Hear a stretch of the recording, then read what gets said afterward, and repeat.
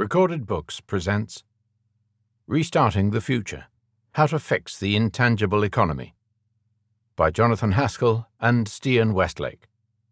Narrated by Derek Perkins. Introduction How to Restart the Century. The 20th century ended in a flurry of optimism. New technologies and new ways of doing business would, it was hoped, soon usher in great advances in prosperity and human flourishing. But the reality has proved very different. Over the past 20 years, the performance of advanced economies has been a study in disappointment. This book proposes a new explanation for what went wrong, suggesting how we can fix the problems and create an economy that not only grows faster, but is fairer and more sustainable too. Postponing tomorrow Selden's brass plaque, and Lorenzetti's fresco. Sometimes a future that in retrospect seems inevitable was, at the time, a close run thing. And sometimes a future that seems desirable and likely does not happen at all. One way of thinking about this is by considering two old objects a brass plaque in the case of the automobile, and a 700 year old painting.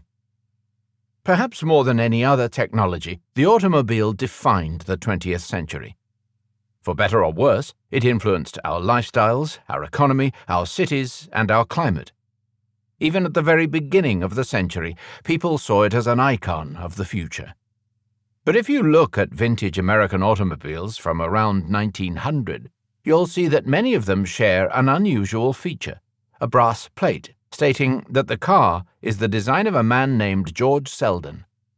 If you have not heard Selden's name alongside automotive pioneers Carl Benz or Henry Ford, there is a reason for this. Selden was not an engineer, but a patent attorney, and at the time he had not produced a single car. But he did file a patent in 1879 that he claimed covered all gasoline powered cars, US Patent 549160. He made the most of this patent, forming in due course a cartel with a number of other businesses to demand royalties from every car sold, a precursor of the patent trolls who acquire obscure patents and use them to shake down tech companies today. A dynamic industry looked like it might fall victim to a greedy collective. Several years later, Henry Ford challenged the patent, eventually prevailing after an eight year lawsuit, and the rest was history. But the situation could have turned out differently, moving the American auto industry onto a different path and affecting the wider history of the motor car, too. The brass plaque is a reminder that the development of the automobile was not, in fact, a sure thing. Patent wars have not been limited to the auto industry. America's aviation industry was defined and nearly derailed by a similar patent war only a few years later. Hollywood is synonymous with cinema, in part because early movie makers went there to escape the legal constraints of Thomas Edison's Motion Picture Patents Company. These patent wars are examples of the broader historical lesson that the evolution of many new technologies and their economic consequences depended on good fortune in terms of rules, laws, and institutions. Selden's brass plaques are a reminder of a lucky economic escape from bad rules that nearly held back a major technology in its earliest days. But sometimes society is not so lucky, and bad institutions bring material progress grinding to a halt. A popular attraction in the city of Siena is a set of stunning frescoes by Ambrogio Lorenzetti, active approximately 1317 to 48, depicting the city as it was in the 14th century with towers and marketplaces picked out in rose pink and mauve, delicately painted merchants plying their trade in the streets, and happy citizens dancing. The title is The Effects of Good Governance on Siena and its Territory. It is located in the Palazzo Pubblico, on the wall of the chamber where the city's ruling council sat, and it makes a basic political point. Good governance helps an economy flourish. And where better to paint it? In the early 1300s, it must have seemed that Siena and the surrounding cities of northern Italy had pulled off a remarkable economic feat. By supporting trade, finance, and investment, they had begun to break out of the trap of subsistence in which most of Western Europe had been stuck for centuries. But even as the paint on the fresco was drying, the economic tide was beginning to turn. The institutions that had helped Siena prosper turned out to be inadequate for the new economy. Like many other northern Italian cities, Siena began to stagnate and then decline. The frescoes in the Palazzo Pubblico stand as a melancholy reminder of what had been. The Sienese experience raises an important question that we will explore in Chapter 3. What institutions, norms, and strategies does the economy need as it grows and changes? The Great Economic Disappointment and its Symptoms. When we think about the state of the economy today, it is hard not to think it wasn't supposed to be like this. The world is richer than it has ever been. Remarkable technologies are transforming every facet of our lives, and yet everyone seems to know that from an economic point of view, something is wrong. In Britain in the late 1970s, the something wrong was so obvious that it earned itself a name. Britain was described as the sick man of Europe. No one has given a name to the problems that the economies of rich countries face today, but we see five symptoms in country after country stagnation, inequality, dysfunctional competition, fragility, and inauthenticity. These symptoms are noteworthy not only because they are objectively undesirable, but also because they are all somewhat hard to explain, defying traditional economic explanations or exhibiting unexpected paradoxes. We introduce them briefly here and explain them in more detail in Chapter 1. Stagnation. Productivity growth has been dismally slow for over a decade. As a result, rich countries earn about 25% less per capita than they would have earned if 21st century growth had continued at trend rates. Periods of low growth are not in themselves unusual, but our current slump is both protracted and puzzling. It has proved resistant to ultra low interest rates and a host of unconventional attempts to stimulate the economy and it coexists with widespread enthusiasm about new technologies and new businesses that exploit them. Inequality. Whether you measure it in terms of wealth or income, inequality has increased considerably since the 1980s and has stayed constant. But inequality today is not simply a matter of haves and have nots. Rather, it is complicated by what we might call inequality of esteem a perceived divide between high status elites and low status people left behind by cultural and social change. Although there is some correlation between esteem and material affluence, this correlation is not perfect. Many people who feel left behind by modernity are asset rich retirees, while the liberal elite includes plenty of impecunious, debt saddled graduates. Dysfunctional competition. The lifeblood of market economies, competition does not seem to be working as it should. The fortunes of firms seem to be more entrenched. Trillion dollar businesses such as Amazon and Google consistently outperform laggards, earning sky high profits. Fewer new businesses are set up, and people are less likely to change employers or move to find work. Here, too, we see a paradox, as many people complain of a growing sense of frenetic, stressful, and wasteful contestation in economic life, with the objectively affluent and even the rich seeming to have to work harder and harder to keep up. Fragility. The COVID 19 pandemic has shown that even the world's richest economies are not immune to natural forces. Indeed, the damage caused by the pandemic is linked to the complexity and sophistication of the economy. Our large, dense cities, our complex international supply chains, and the unprecedented interconnectedness of our global economy allowed the virus to leap from country to country and increased the cost of the lockdowns needed to control it. Even 15 years ago, a pandemic outbreak in a remote area of China would be at most a minor news story for the rich world.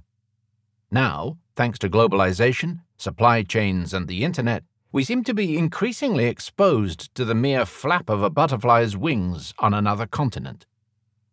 For many, the ruinous human impact of COVID 19 offers a forewarning of the havoc that climate change will cause in the years to come. The combined actual impact of the pandemic with the expected impact of global warming illustrates the vulnerability of the economy to big, ecosystem level threats. Both problems share another feature the curious gap between knowing how to solve them and actually doing so. Countries from Taiwan to Thailand have shown that the right policies can help to reduce the number of COVID 19 deaths and the amount of economic damage. Likewise, detailed and credible plans for decarbonising the economy exist. But the gap between knowing and doing is wide, and most countries seem unable to bridge it. Another indication of fragility is the declining ability of central banks to offset economic shocks. In the nine US recessions leading up to the COVID 19 pandemic, the Federal Reserve cut interest rates by an average of 6.3 percentage points. In the United Kingdom, the cut was 5.5 percentage points in the five pre COVID 19 recessions. But since 2009, average interest rates set by the central bank in the United States, the United Kingdom, and continental Europe have been 0.54%, 0.48%, and 0.36%, respectively, data to April 2021. On interest rates, so called policy space for central banks seems severely limited. Inauthenticity. The final disappointing feature of the economy in the 21st century is not something that economists talk about, but it looms large in laypeople's discussions. We call it inauthenticity or fakeness, the idea that workers and businesses lack the grit and authenticity they should have, and that they once had. Consider anthropologist David Graeber's critique of bullshit jobs. Through some strange alchemy, the number of salaried paper pushers ultimately seems to expand, even while the layoffs and speed ups invariably fall on that class of people who are actually making, moving, fixing, and maintaining things. Graeber's critique follows in the footsteps of postmodernists such as Jean Baudrillard, who argued that the modern world is dominated by simulacra, imitations and symbols that, like Disneyland, take on a new life of their own that is detached from the underlying reality. Likewise, the conservative commentator Ross Douthat has argued that one of the characteristics of modern decadence is the prevalence of imitation rather than originality in culture, media, and entertainment. The modern world is remixed, narrated, and curated in a way that the past was not. This view resonates with the public, too. Manufacturing, along with the idea that governments should do more to promote it, is perennially popular with voters. Bringing back manufacturing jobs to the United States was one of Donald Trump's most resonant electoral promises in 2016 successive British governments promised to respond to the global financial crisis with new industries, new jobs, and a march of the makers. None of these promises were kept, but the fact that they were made at all strongly indicates the popularity of the idea that we should return to making things, and the suspicion that a lot of modern economic activity is somehow not genuine. Economies and societies have often gone through periods of unease but the coexistence of the five problems listed here is particularly puzzling and paradoxical. Economic stagnation has affected us before. But today, it coexists with low interest rates, high business profits, and a widespread belief that we live in an age of dizzying technological progress. The rise of material inequality has slowed down, but its consequences and sequelae inequality of status, political polarization, geographical divides, blighted communities, and premature deaths continue to grow. And, as we discuss in Chapter 7, competition seems to have decreased, with fewer new firms and more persistent performance gaps between leader and laggard businesses. But working life for managers and workers alike feels more frenetic than ever. This book answers two key questions what is causing all these symptoms, and what can we do about it? explaining the great economic disappointment conduct versus circumstance versus the transformed economy. When things go terribly wrong, there is rarely a shortage of theories to explain why.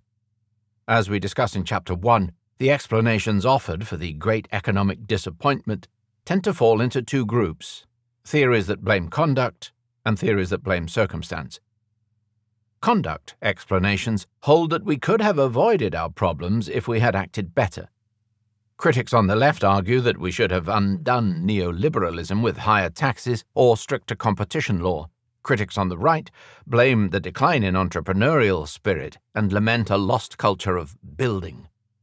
Circumstance explanations are more fatalistic.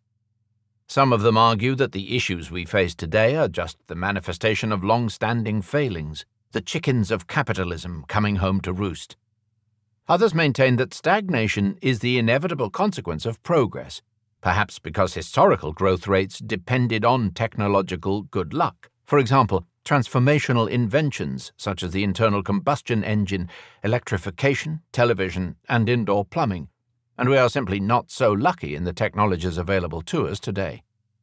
Some circumstantial explanations are pessimistic, maintaining that the past two decades represent a new normal.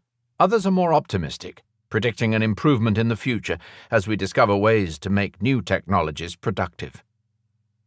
We are skeptical of theories that rely on the assumption that humanity has simply gotten worse, or that providence or the great unfolding of technology has simply turned against us. This book provides an alternative explanation. We believe that the economy is partway through a fundamental change from one that is largely material to one that is based on ideas, knowledge, and relationships.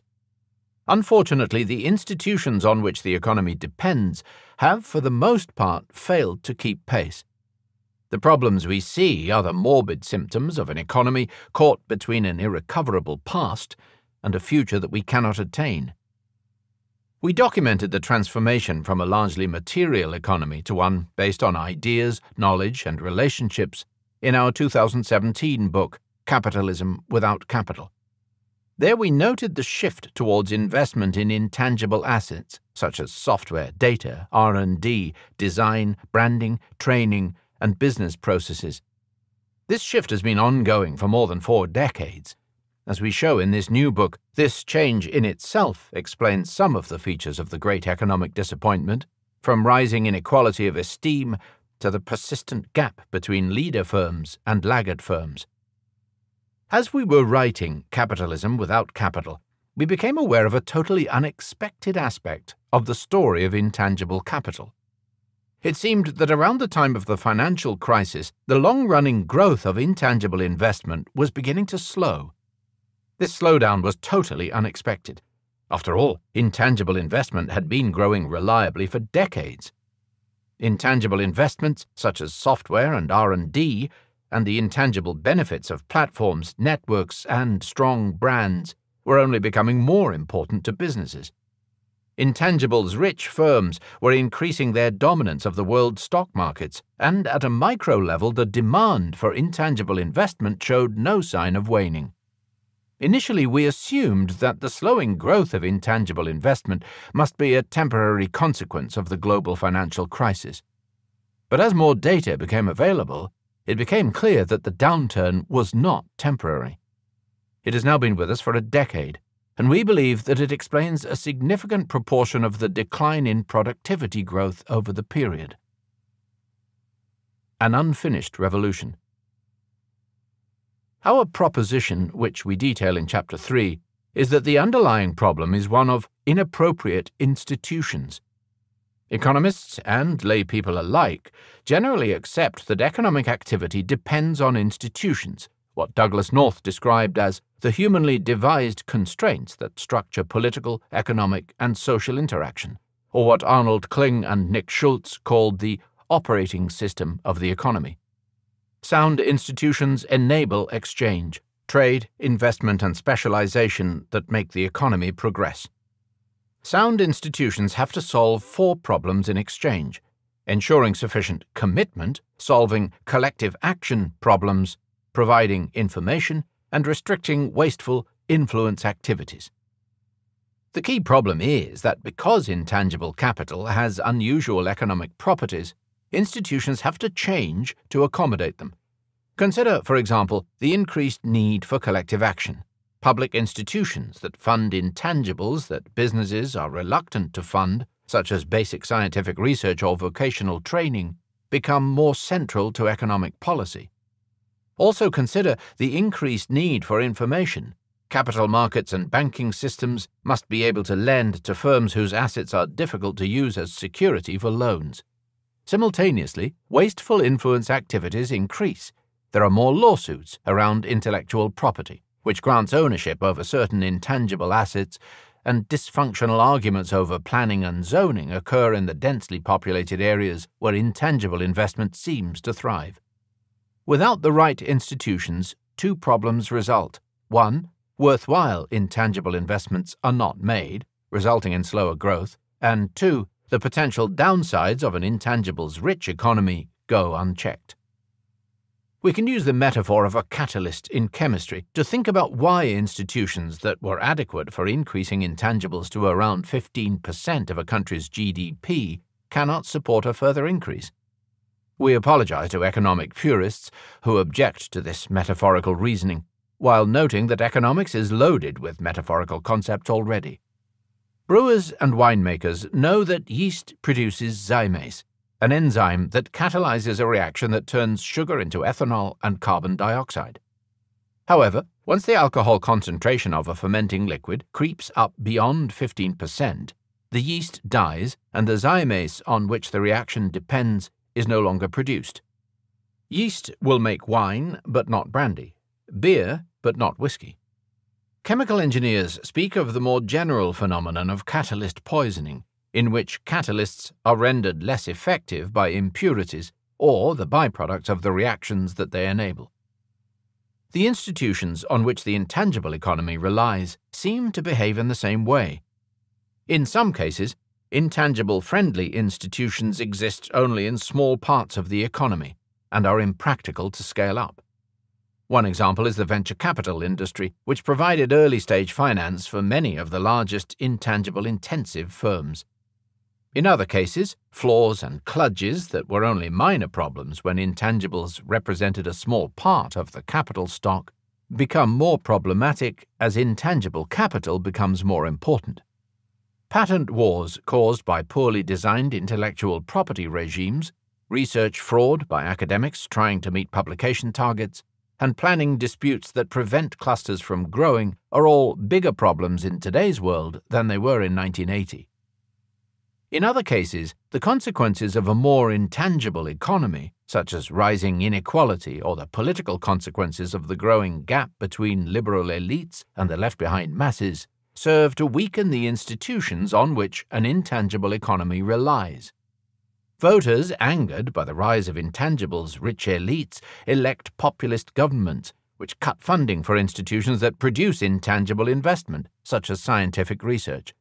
Businesses that have achieved market dominance through valuable software or networks fund lobbying to make life harder for competitors, discouraging those competitors from investing. As a result, the cost of inadequate institutions rises. As intangibles become more important, the institutions on which our economy depends begin to look like the legacy software systems found in large banks or government departments, outmoded in their architecture and increasingly costly, a situation that software developers call technical debt. At first, the shortcuts, architectural compromises, and workarounds can be lived with, but over time their costs increase, and eventually the system fails if the debt is not paid down. Technical debt rarely intrudes into the public consciousness. Perhaps the most famous example is the Millennium or Y2K bug, which cost hundreds of billions of dollars to fix. But it lurks in countless pieces of software on which we all rely daily. The growing importance of intangibles has created a bigger and more pervasive version of technical debt that we call institutional debt paying down our institutional debt. In the second half of this book, we look at four areas where our institutional debt is greatest, holding back future intangible investment and exacerbating the problematic effects of the intangible investment that already takes place. Public funding and intellectual property. The most obvious problem relates to institutions whose explicit purpose is to encourage intangible investment intellectual property, IP laws, and public bodies that fund research, training, or cultural content all work to solve one of the main quirks of intangible capital the fact that it generates spillovers, reducing the incentive for private firms to invest as much as they otherwise would.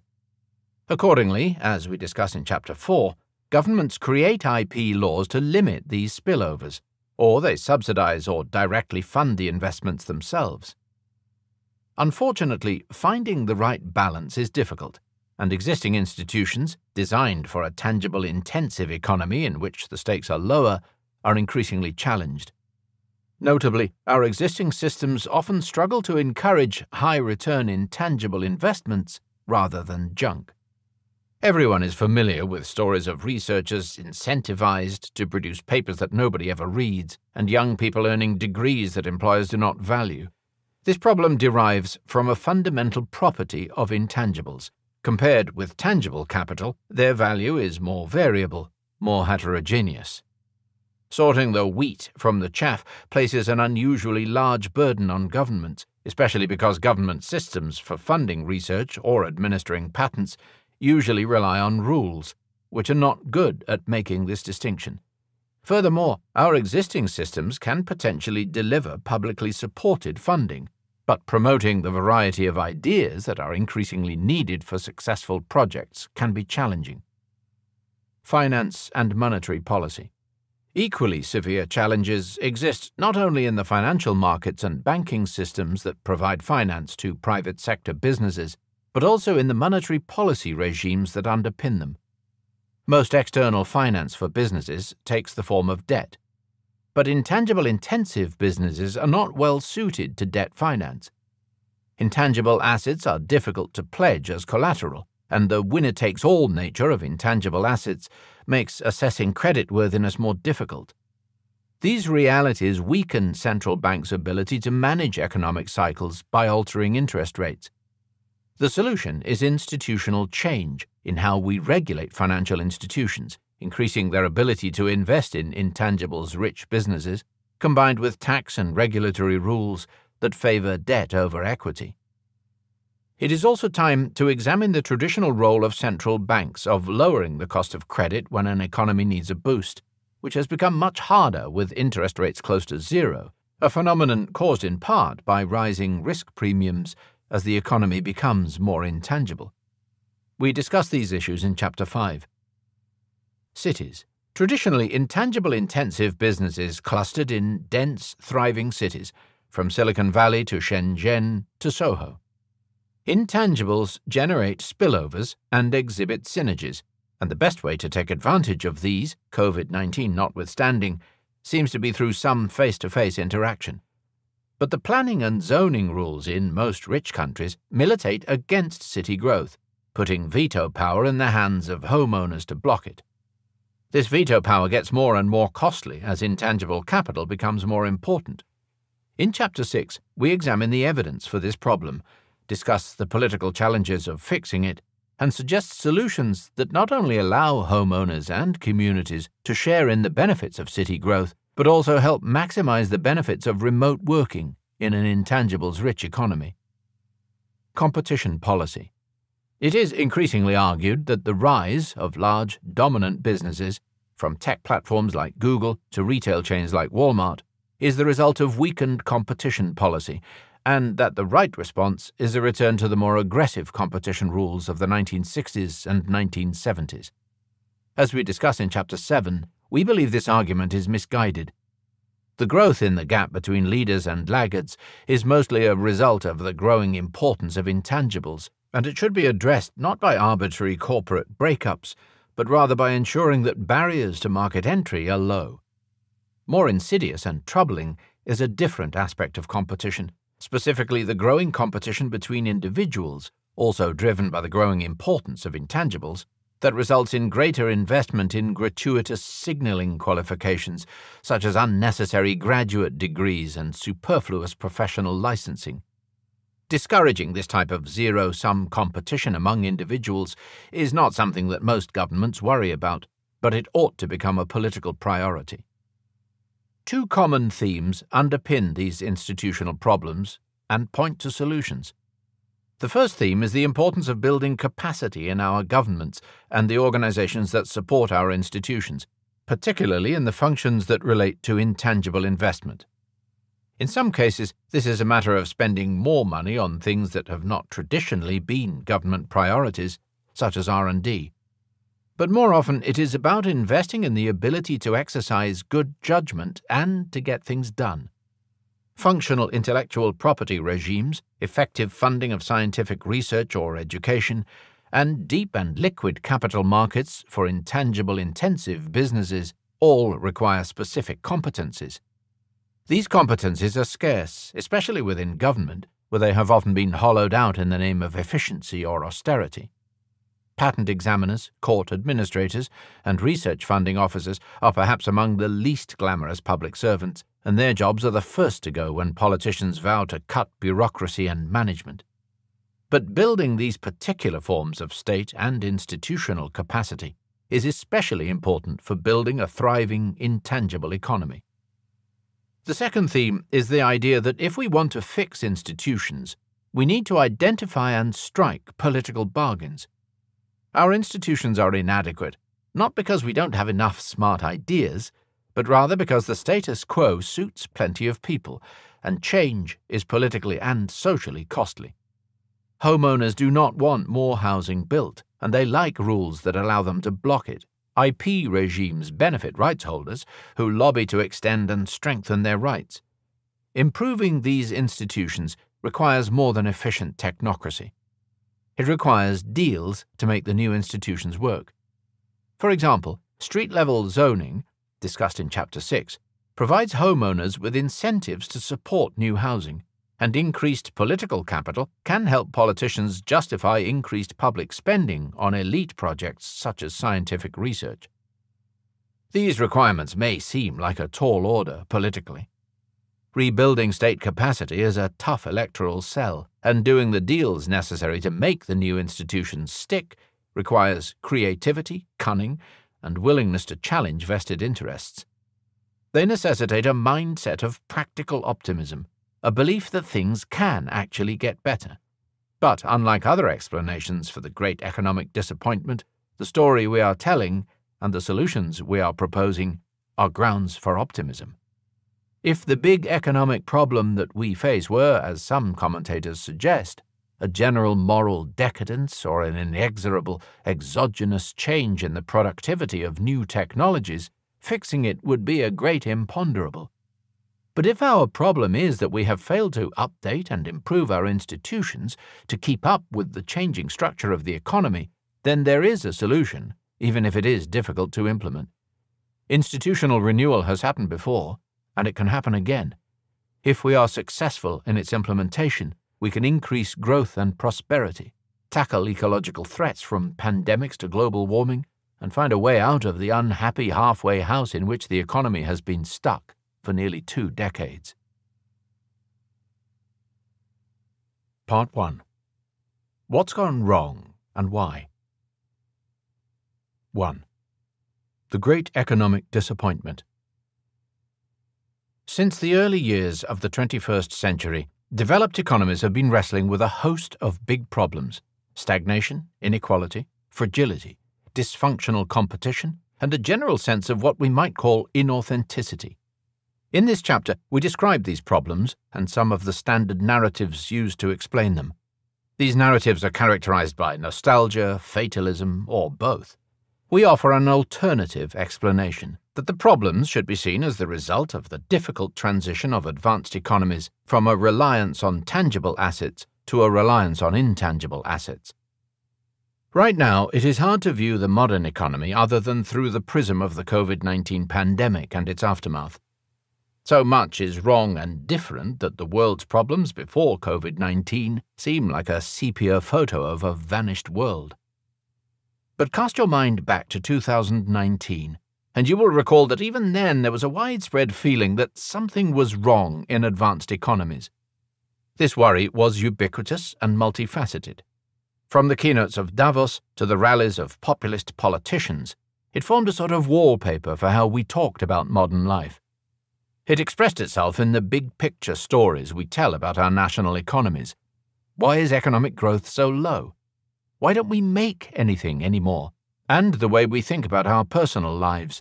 Why is working life ever more stressful? Why does my job involve so much bullshit?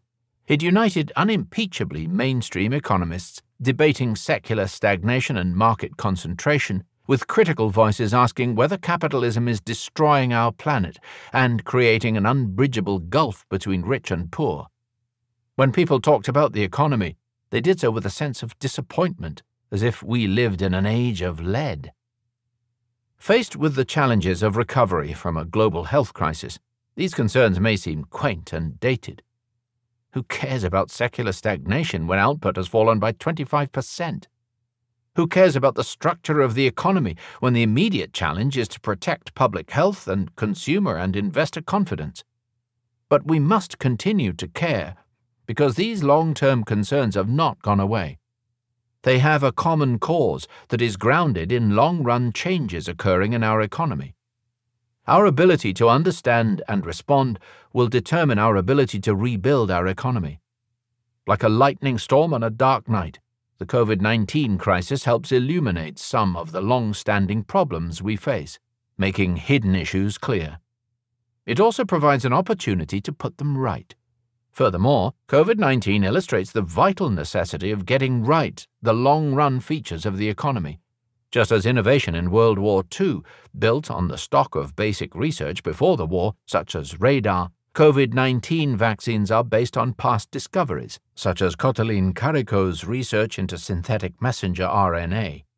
And, of course, paying down the debt buildup created by COVID 19 will require faster economic growth. Five symptoms of the great economic disappointment. Sometimes the most familiar and ubiquitous phenomena are unexpectedly difficult to recognize and describe. We must ask the same questions that a doctor treating a patient with many symptoms asks which symptoms are linked? Which ones should we disregard as extraneous? Our first task, then, is to itemize the long run concerns about the 21st century economy.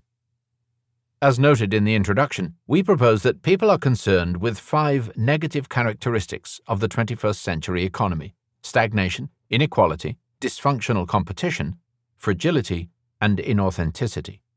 We'll explain each of these in turn. Stagnation.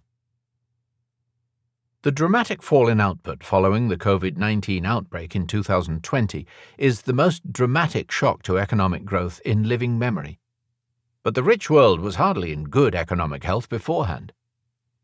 If growth had continued at its trend from the start of the century to the financial crisis, advanced economies would have been 20 to 30 percent richer. The disappointment is all the more acute if we look over a longer period. For most of the second half of the 20th century, developed countries could rely on average real GDP growth of over 2% a year. The turn of the century saw a drastic 50% reduction in economic growth. Between 2000 and 2016, growth in real GDP per capita in the United States was around 1% per year. If we focus on the period of the global financial crisis and afterwards, the figures are even worse, with growth from 2006 to 2016 at a feeble 0.6% per year. European countries experienced similarly low levels of growth. Towards the end of 2019, the United Kingdom's Royal Statistical Society selected low productivity growth as its statistic of the decade. Low growth is so familiar to us now that even before COVID 19, experts took it for granted. But it would have been truly shocking to observers as recently as 20 or 30 years ago.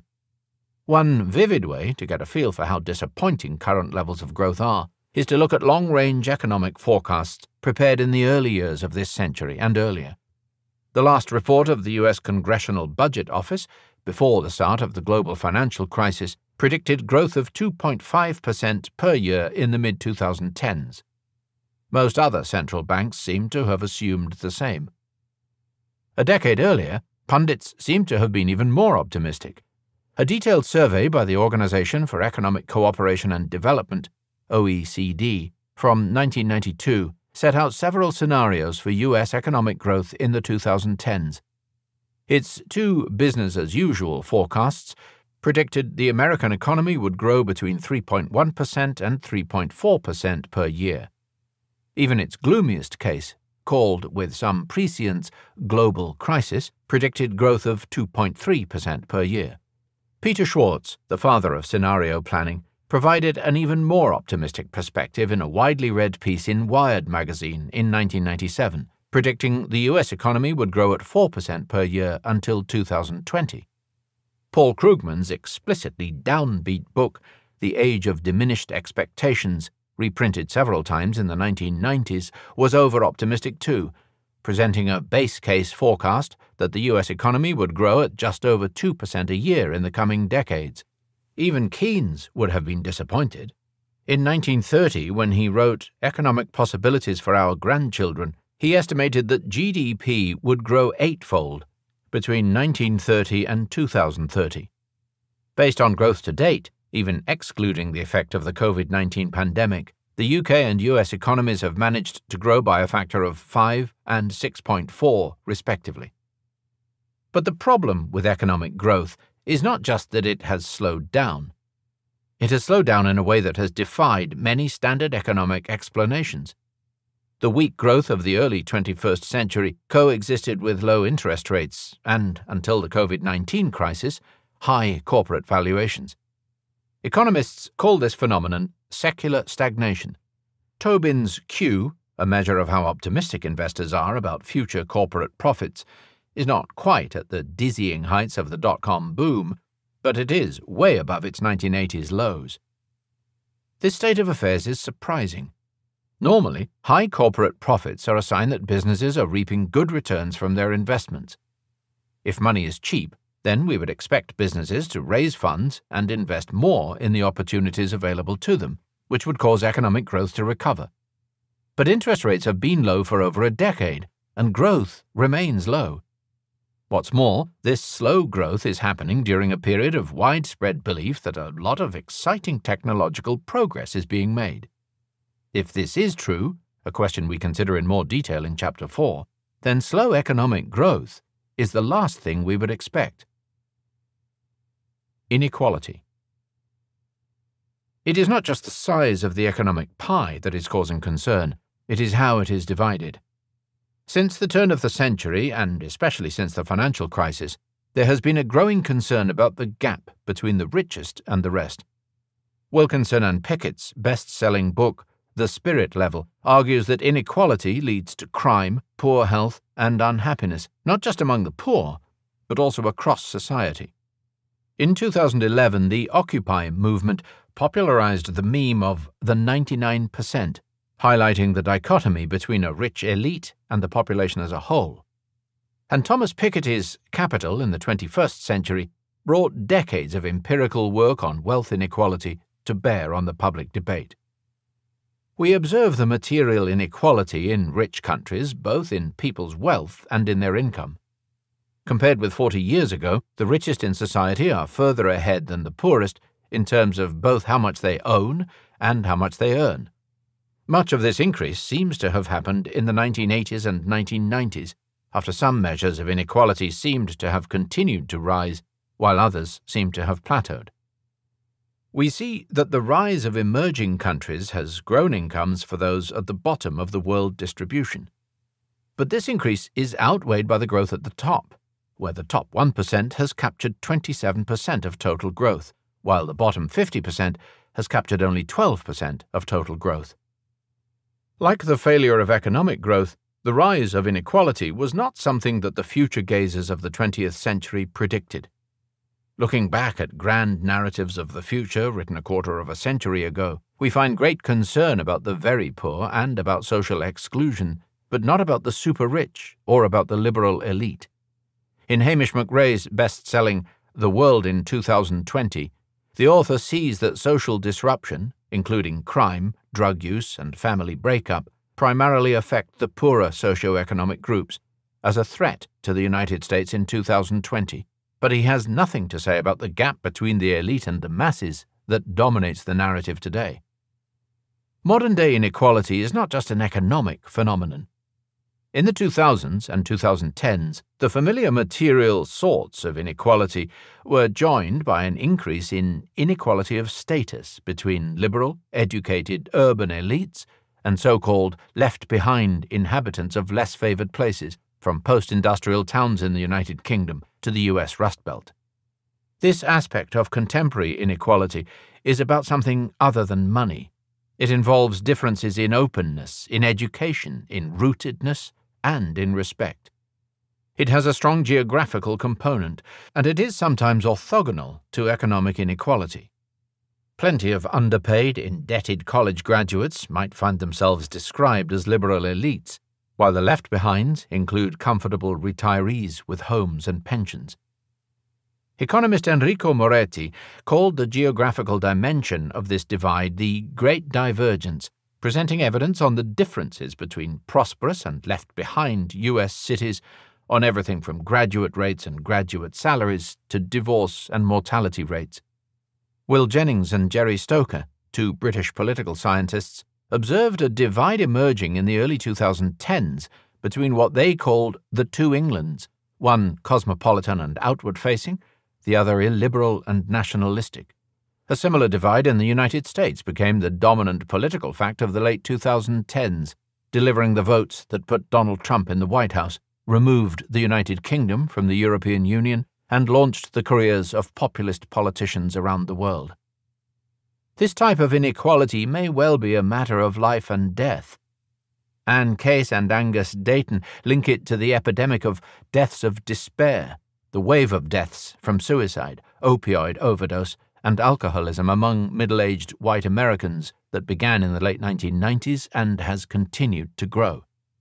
This epidemic and other manifestations of status anxiety have continued to grow, even as inequality of income and wealth has remained stable. Dysfunctional competition.